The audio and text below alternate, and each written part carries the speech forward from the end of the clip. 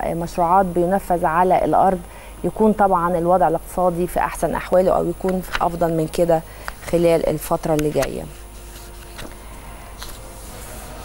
آية من السويس. مساء الخير يا آية. آه مساء النور يا فندم. آه أنا آية من السويس. آه طبعا آه أنا عندي مشكلة بقالنا دلوقتي حوالي آه سنة. آه إن إحنا كنا شغالين معلمات رياض أطفال كان عددنا 406 شغالين تبع تعاقد تبع المديرية. آه بعد مرور العام بيقولوا لنا إن تعاقدكم تعاقد غير قانوني وإن أنتم مالكوش أي حق عندنا. آه دلوقتي طبعا متبهدلين جدا ومتشحططين طبعا مش عارفين ناخد حقنا. ده غير إن في عجز صارخ جدا في في المحافظة في رياض أطفال. بس للأسف مش عارفين نعمل أي حاجة والوزير لما جينا قابلت مع الوزير محمود أبو النصر قال لي إن هي في حل هيبقى في حل عاجل للموضوع وما ودلوقتي فات أكتر من أربع شهور وخمس شهور بلا أي حل وبلا أي جدوى. مم. طيب. فأنا طبعا بناشد طبعا وزير التربية والتعليم أستاذ محمود أبو النصر لو سامعني آه يا ريت يعني إحنا أتقطع عيشنا يعني بلا أي ذنب أنتوا بقالكم سنة يا آية يعني أنتوا رحتوا اشتغلتوا من سنة و... وكان في وعدة بالتعيين آه يا فندم إحنا أصلا تش... اشتغلنا طبقا ل كان في مسابقة؟ آه زي آه عرض الوظيفة في في المديرية واشتغلنا طبقا ل... زي ما هو اتعرضت في الجورنال تعالوا تقدموا وتقدمنا عادي. أنا كان عندي يرفضني في الأول يقول لي انت مش م... انت م... م... مش هاخدك معانا على إنه يشغلني سنة ويعطلني. وده في غير إن كمان يا فندم ناس اشتغلت سنة وما تقاضتش أجر. ما خدتش ولا مليم. ولما جم عشان يشتكوا عشان ياخدوا فلوسهم قالوا أنتوا مالكوش حق عندنا.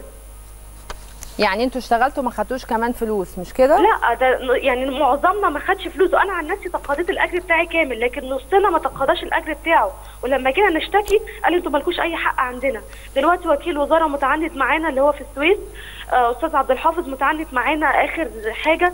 ده كمان إن أنا لما رحت هناك فمدير المكتب بتاعه آه بيقول لي أنتوا الصراحه أنتوا ليكوا كل الحق وإن أنتوا المفروض ترجعوا بس إحنا مش هنرجعكم تاني أصل أنتوا كخة. قلت له أنا أخجل أقول لطفل كان عندي في يوم في الكلاس كلمة كخ دي. والله مش عارفة طبعا أنا مش وكلنا طبعا اتقطع عيشنا وحضرتك يعني مش متخيلة يعني إيه قطع عيش 406 أسرة. طبعا. عموما فأنا طبعا بناشده أنا نفسي بجد المشكلة تتحل. يعني أنا قعده البيت بتاعتنا دي بجد يعني حاجة مش كويسة. ده غير إن إحنا لما رحنا آخر مرة للوزارة آه بيقول لي إن هيتعينوا المتخصصات. طب أنا مع حضرتك جدا إن هم هتتعين المتخصصات.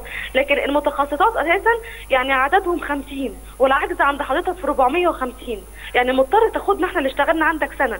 كل القاعات بتاعت رياض أطفال في السويس عاملينها معلمات رياض أطفال. طيب فأنا يا بجد أنا بناشده وبقول له يعني قطع عيش الناس عند حضرتك حاجة مش سهلة. أنا بحاول إن أنا أتواصل مع أي حد يحل لنا المشكلة. أنا بتوسل إليه يرجعني شغل تاني أشتغل مرة تانية. أنا عندي طاقة عايزه أطلعها. يعني خليني أطلعها في شغل. طبعا بلا أي جدوى طبعا. أنا بناشد وزير التربية والتعليم يشوف لنا حل عاجل. أرجوه أرجوه أرجوه.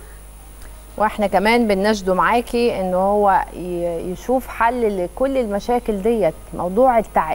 يعني مش ممكن. ده أكيد في في آلاف الناس بتعاني من المشكلة ديت عموما أنا بشكرك وإن شاء الله يكون سمعنا أو يكون حد من المسؤولين فعلا معني بحل مشاكل كل الناس اللي بتروح تعمل في هيئات ومؤسسات ويفتكروا إن هم هيتعينوا بعد وقت وبعد كده يلاقوا إن الموضوع صعب. هي الحكاية صعبة كمان والنظام الإداري للدوله بيتعمل فيه النهارده شغل كبير وإصلاحات كبيرة جدا.